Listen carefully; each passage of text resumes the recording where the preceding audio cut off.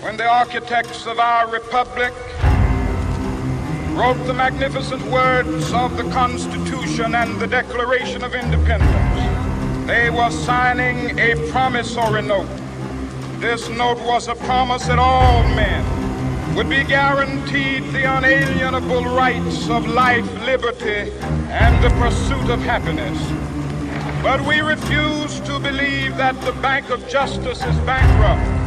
So we've come to cash this check, a check that will give us upon demand the riches of freedom and the security of justice.